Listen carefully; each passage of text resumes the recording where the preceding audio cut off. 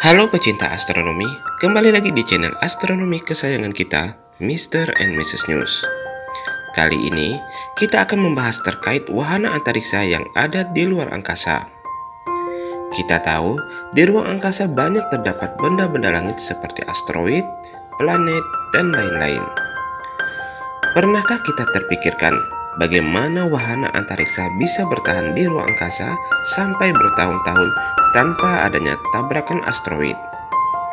Seperti yang kita tahu, di luar angkasa terdapat sabuk asteroid yang mana terdapat banyak asteroid di sana. Wahana antariksa yang pernah melewatinya yaitu wahana antariksa Voyager 1 dan 2. Yang jadi pertanyaannya, bagaimana wahana antariksa Voyager melewati sabuk asteroid tersebut? Nah, Sebelum kita lanjut ke pembahasannya, jangan lupa untuk subscribe dan share video ini ke teman-teman lainnya agar mendapatkan video terbaru terkait astronomi, fenomena astronomi, dan berita astronomi lainnya. Wahana antariksa Voyager diluncurkan tahun 1977. Voyager merupakan wahana luar angkasa yang terbang untuk misi penelitian terhadap bagian terluar tata surya kita. Voyager sendiri terdiri dari dua wahana luar angkasa yang diberi nama Voyager 1 dan Voyager 2. Saat ini, keduanya masih terbang dan terus melaju menuju batas terluar tata surya. Meski sudah beroperasi lama, nyatanya bahan bakar kedua wahana Voyager tersebut masih mampu memberikan daya. Meski namanya Voyager 2, namun wahana antariksa ini terbang lebih dahulu dibanding saudaranya Voyager 1. Voyager 2 pertama kali terbang pada 20 Agustus 1977. Voyager 2 menjadi satu-satunya wahana antariksa yang berhasil melakukan planetary tour yakni melintasi planet Jupiter, Saturnus, Uranus, Neptunus sekaligus. Sehingga Voyager 2 disebut sebagai wahana antariksa paling produktif. Voyager 1 merupakan wahana antariksa tanpa awak yang diluncurkan NASA pada 5 September 1977, enam hari setelah peluncuran Voyager 2. Voyager 1 dinobatkan sebagai objek buatan manusia yang berada pada posisi paling jauh dari bumi, lebih jauh ketimbang Voyager 2. Voyager 1 menjadi objek buatan manusia yang berhasil melewati heliosfer dan menuju ruang antar bintang.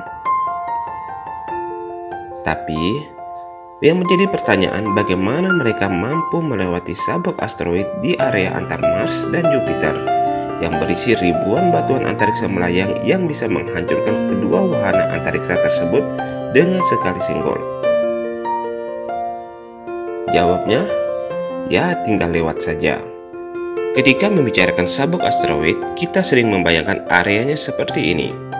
Sebagaimana di film atau buku ilustrasi. Kosong, hampa, sepi, hampir tidak ada apa-apa, sebagaimana sebagian besar bagian antariksa yang lain. Bertemu bersenggol asteroid di lokasi itu saja adalah sebuah keberuntungan atau kesialan tergantung situasi. Jarak rata-rata antar asteroid di sabuk asteroid adalah sekitar 1 juta kilometer atau 600 ribu mil.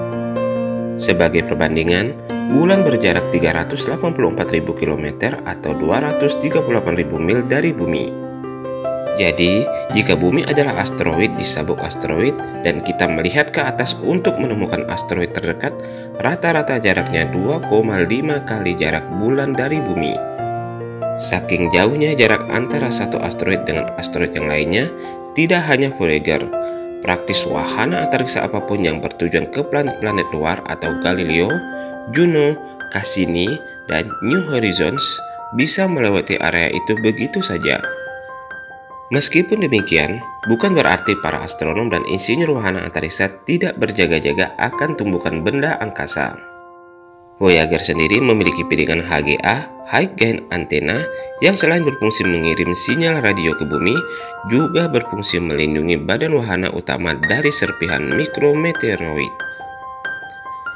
Jika ada halangan yang cukup besar di lintasannya, mereka memiliki pendorong mini yang bisa membelokkan jalur mereka untuk sementara.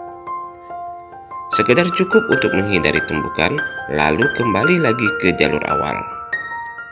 Jadi, ada dua alasan kenapa wahana antariksa Voyager dan wahana antariksa lainnya tidak tertabrak asteroid di sabuk asteroid.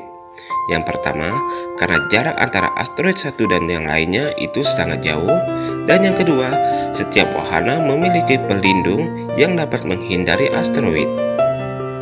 Nah, Begitulah penjelasan singkat mengapa wahana antariksa Voyager 1 dan 2 tidak tertabrak asteroid di sabuk asteroid.